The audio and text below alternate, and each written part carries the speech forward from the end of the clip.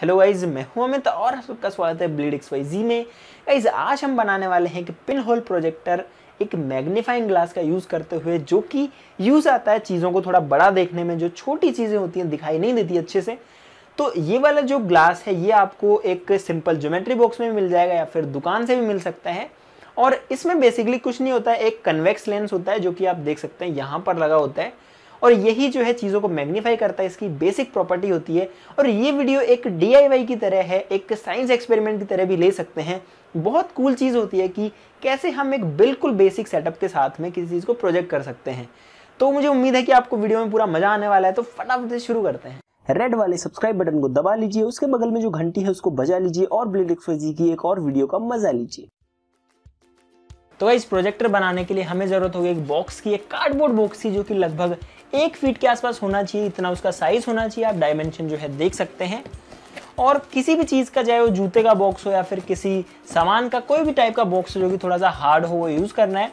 साथ ही साथ में एक कार्डबोर्ड का छोटा टुकड़ा भी हमें चाहिए जो कि कुछ इस तरीके का है। तो इस पहले इस साइड को यहाँ से हमें गोल सर्कल की शेप में काटना है।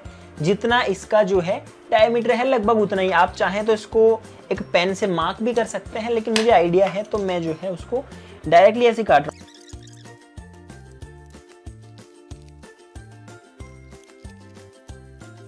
तो गाइज़ हमने यहाँ पर कुछ इस तरीके का सर्कल जो है वो होल बना लिया है और अब जो है हम इस मैग्नीफाइंग ग्लास को इसके ऊपर चिपकाएँगे। मैं यहाँ पर इसके अंदर से इस कॉन्वेक्स लेंस को निकाल भी सकता था, लेकिन मैं सोच रहा हूँ कि इसको पूरा ही ऐसे चिपका देते हैं जिससे कि हमारे ये जो लेंस है, ये भी खराब नहीं होगा और साथ ही साथ में हमारा जो काम है वो भी हो जाएगा और थोड़ा सा माउंट के लिए स्पेस भी मिल जाएगी।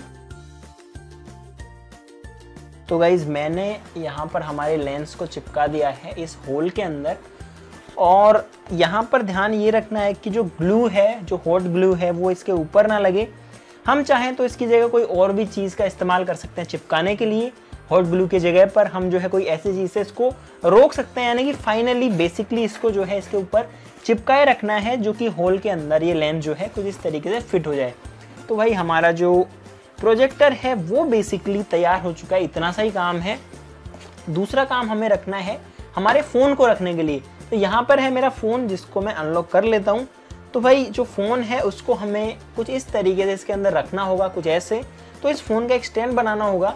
स्टैंड बनाने के लिए बिल्कुल बेसिक हमें चाहिए इस तरीके का कार्डबोर्ड गाइज़ अगर बात करें इसके वर्किंग प्रिंसिपल की तो ये काम करता है बिल्कुल एक असली प्रोजेक्टर की तरह ही। असली प्रोजेक्टर में भी अंदर एक स्क्रीन होती है, कुछ इस तरीके की जो काफ़ी ब्राइट होती है। और उसका काम ही वही है तो बहुत ज़्यादा उसके अंदर ब्राइटनेस होती है तो काफ़ी देर जो चमकती है, एक लेंस होता है उसके आगे ही आगे, वो उसको जो है अच्छे से फोकस कर देता है सामने वाली स्क्रीन के ऊपर।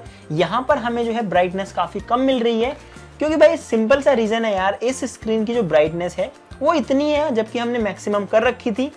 उसके बावजूद भी जो चीज़ है, वो उतनी क्लियर नहीं दिखेगी, क्योंकि ब्राइटनेस कम है। और साथ ही साथ में एक दिक्कत ये भी आती है कि अगर हम इसमें कोई मूवी चलाते हैं ना तो फ़ोन उसको अपने आप ही उल्टा कर देता है और हमें इसके अंदर वो चीज़ इन्वर्टेड दिखती है, यानी कि अगर एक गाना चल रहा है तो वो गाना बिल्कुल उल्टा दिखेगा आपको। जो सर हैं वो नीचे दिखेंगे, जो पैर हैं वो ऊपर दिखेंगे। तो भाई, ये जो है एक बेसिक प्रोजेक्टर इसी तरीके से काम करता है। जो असली वाला प्रोजेक्टर होता है, जो कि नॉर्मली कॉमर्शियल यूज़ होता है या जैसा भी यूज़ होता है, उसमें क्या होता है कि ये जो स्क्रीन है, ये पहले ही उल्टी लगी होती है।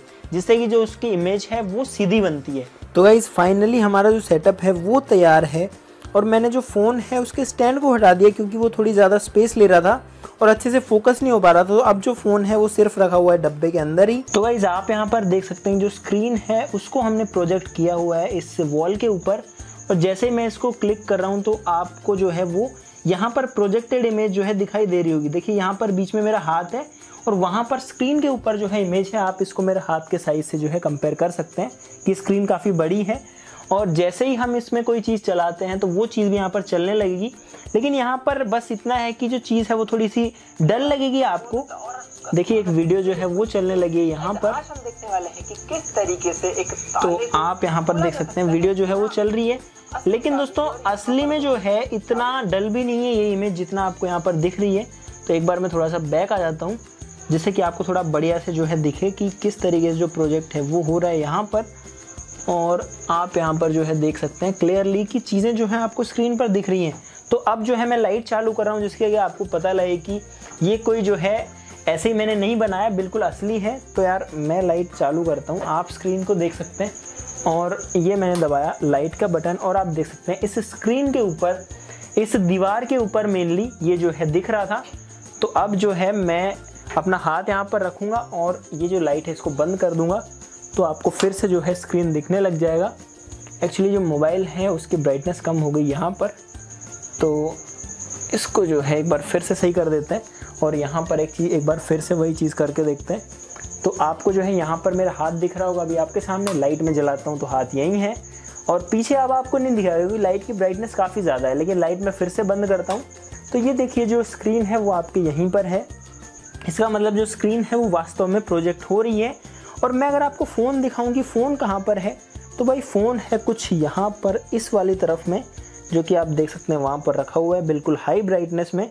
तो गाइज़ आज के लिए इस वीडियो में बस इतना ही। अगर आपको ये वीडियो अच्छी लगी है तो इसे ज़रूर से लाइक कीजिएगा शेयर कीजिएगा और हमारे channel blade X Y Z को ज़रूर से सब्सक्राइब कीजिएगा।